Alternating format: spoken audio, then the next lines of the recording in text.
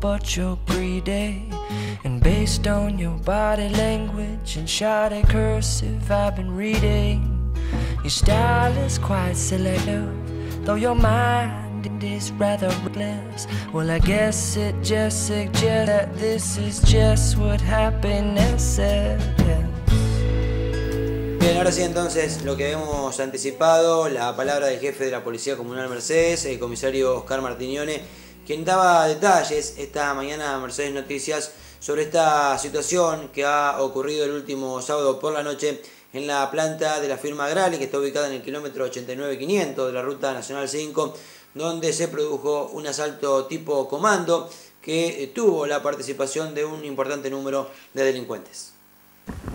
Sí, lamentablemente tengo que dar una noticia que no es agradable, pero bueno, noticia al fin y el hecho ocurrido y lo tenemos que, que develar. Y ha ocurrido en las instalaciones de la, empresa Agrale, ubicada en el kilómetro 85 de la Ruta Nacional 5.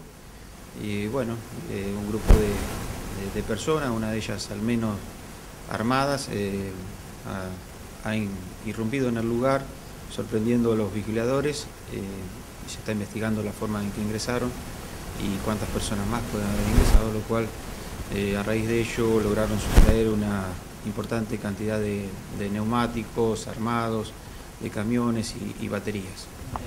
Tenemos entendido que en principio son tres los, los, delincuentes que ingresan, que reducen a estos dos vigiladores, y se presume que esta banda estaba compuesta por más integrantes que llegaron en camiones. Eh, se estima, sí, se estima que sí que podrían llegar a ser más, eh, y por los ruidos que se han escuchado, y, y, averiguaciones que estamos haciendo seguramente se puede desprender alguna, alguna otra persona más que haya compuesto esta, banda. En principio tenemos tres certificadas que son los que eran los empleados de seguridad y luego cometen el ilícito. ¿El empleado llegó a, ser, eh, a recibir un golpe? Sí, uno de los empleados recibió un golpe, lesiones leves, que fue atendido en el hospital y luego de unas horas eh, estuvo prestando declaraciones en esta dependencia policial.